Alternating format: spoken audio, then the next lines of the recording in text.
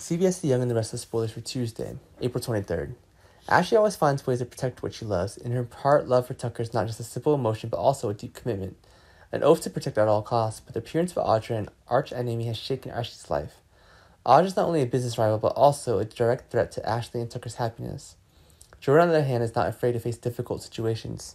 Jordan always seeks to take advantage of every opportunity to advance. Whether he has to follow the legal path or not, when Ashley approaches her with an offer she can't refuse, Jordan realizes that this could be her big chance to not only make a large sum of money, but also solidify her position in the city.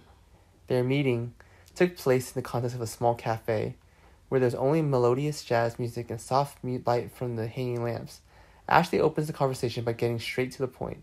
She needs Jordan's help to get Audra out of the race, even if it means they have to cross legal and ethical lines. Jordan, although overwhelmed by the audacity of the request, showed no signs of fear. Instead, she points out that to accomplish this, the two need to become allies, not just in the dark, but in the light as well, for plans like this require mutual protection. So, a crazy alliance was formed, not only for the immediate goal, but also for the long term benefits that both people had.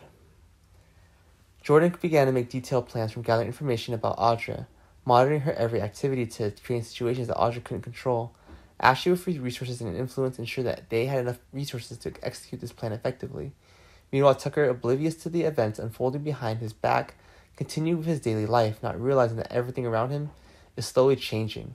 He still trusts Ashley completely, unaware that she is on a path from which there may be no return. Jack, a protective and conservative father, can't understand why Kyle decided to take care of Claire, a new woman who appeared in his life, and ignore the safety of Harrison. His son Jack's anger at Kyle's actions not only about his nephew's safety, but also about the values that Jack has always held dear family and responsibility. Carlson is blinded by his desire to conquer Claire, a mysterious woman in a post full of questions. He's fascinated by Claire's cold appearance and proud attitude, without realizing that his interest is pushing him into a complicated battle. Kyle believes that he can balance caring for Claire and being a father to Harrison, but he doesn't demonstrate this convincingly. Summer, Kyle's ex wife, and Harrison's mother cannot accept the situation. She decided not to let things go and let things settle down, but would fight for custody of Harrison.